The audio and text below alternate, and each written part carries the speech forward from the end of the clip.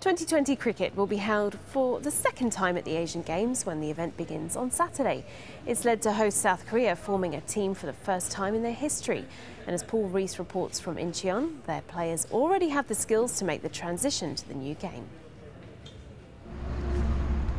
Baseball is king in South Korea, but for a few weeks at least, there's a new sport in town. Cricket is being held at the Asian Games in Incheon, and as hosts, the Koreans are putting out a team. Most of them had never played cricket until a year ago. But their college baseball careers mean they're more than handy with bat and ball. Cho Sung-hoon has been labelled the Korean Sachin Tendulkar by teammates. He hit a 50 in their final warm-up match. I never expected to play cricket because I had never heard of it. But representing my country is a great opportunity. One thing baseball couldn't prepare the team for is bowling spin. Fortunately, they've had lifelong training in the use of chopsticks. Yeah, I think the chopstick techniques um, incorporates a lot of the spin technique as well. Because I, when you use chopstick, you use every single finger.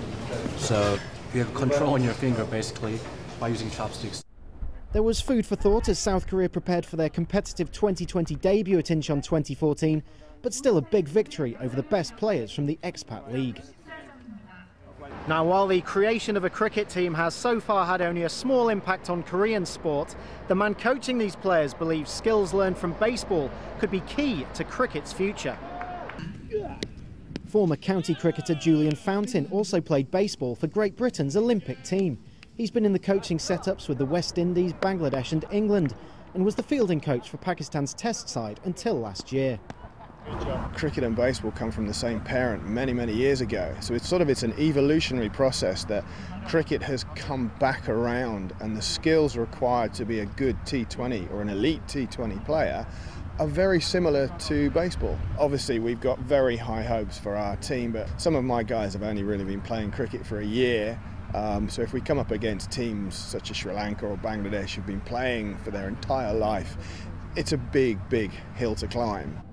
A meeting with Sri Lanka could await if South Korea get to the quarter-finals. The gloves will be off for their first group match against Malaysia.